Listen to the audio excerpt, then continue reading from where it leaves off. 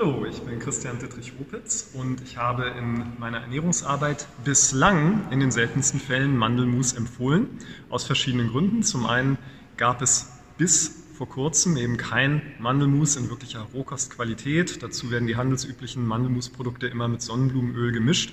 Und im Übrigen wird auch meistens Mandelbruch verwendet, also ein wirklich minderwertiges Ausgangsprodukt. Nun war ich gerade in der Produktionsstätte von der Firma Dr. Görg, die ja bereits im Bereich Kokosöl und Kokosmuts wirklich die besten, qualitativ hochwertigsten Produkte anbieten, die es gibt. Und ich habe gerade bei einer Produktion von Mandelmus zugeschaut.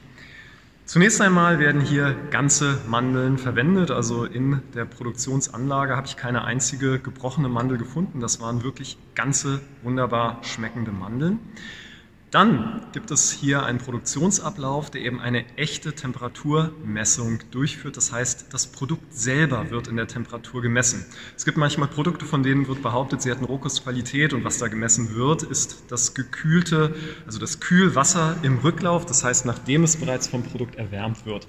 Das sagt natürlich nichts aus, wenn ich ein Produkt habe, das einen Wasser von 15 auf 35 Grad erwärmt, dann hat das Produkt mit Sicherheit weit, weit über 40 Grad. Hier ist es anders.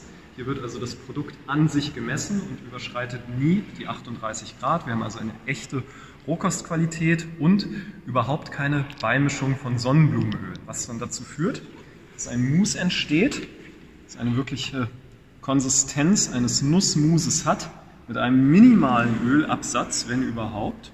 Das können wir dann eben auch sehen, wenn wir bei einem Mandelmus, wenn es im Glas abgefüllt ist, oben einen kleinen Ölabsatz sehen, das ist in Ordnung, aber größere Ölmengen weisen eben darauf hin, dass Öl zugesetzt wird, das handelsüblich ist, nicht deklarationspflichtig ist als Fabrikationszutat. Hier sehen wir also ein hundertprozentiges Produkt aus ganzen Mandeln, unerhitzte Qualität, wunderbarer Geschmack, diesen typischen Mandelgeschmack nach Amygdalin, das ganz charakteristische für die Mandel und das ist ein Mandelmus, was ich wirklich aus vollster Überzeugung empfehlen kann.